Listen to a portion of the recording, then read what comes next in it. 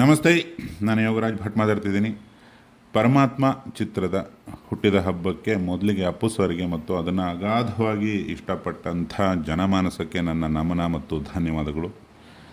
ಪರಮಾತ್ಮ ನಿಧಾನವಾಗಿ ಜನರ ಮನಸ್ಸಿಗೆ ಇಳಿದು ಇಳಿದು ಈಗ ಪ್ರತಿ ವರ್ಷ ಅದರ ಹುಟ್ಟಿದ ಹಬ್ಬ ಆಚರಿಸೋ ಮಟ್ಟಿಗೆ, ಸೆಲೆಬ್ರೇಟ್ ಮಾಡೋ ಮಟ್ಟಿಗೆ ಆ ಚಿತ್ರ ಜನರದ್ದಾಗಿದೆ. ಜನ ಅದನ್ನು ತಮ್ಮದು ಮಾಡು, ಮಾಡಿಕೊಂಡಿದ್ದಾರೆ. ಇದು ನನ್ನ ಪಾಲಿನ ಸಾರ್ಥಕ ವಿಷಯಗಳಲ್ಲೊಂದು.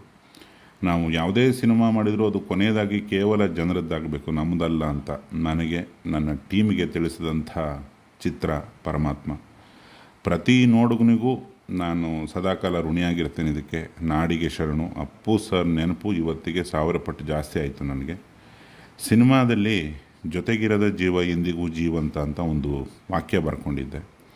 ಆದರೆ ನನ್ನ ಪ್ರಕಾರ ಅಪ್ಪು ಸರ್ ಯಾವತ್ತೂ ನಮ್ಮೆಲ್ಲರ ಜೊತೆಗೇ ಇರುವ ಜೀವ. ಆದ್ದರಿಂದ ಅವರು ಇವತ್ತು ಪರಮಾತ್ಮ ಚಿತ್ರದ ಹುಟ್ಟಿದ ಹಬ್ಬದ ದಿನ ಹಿಂದೆಂದಿಗಿಂತಲೂ ಜಾಸ್ತಿ ಜೀವಂತ. ನಮಸ್ತೆ. Thank you.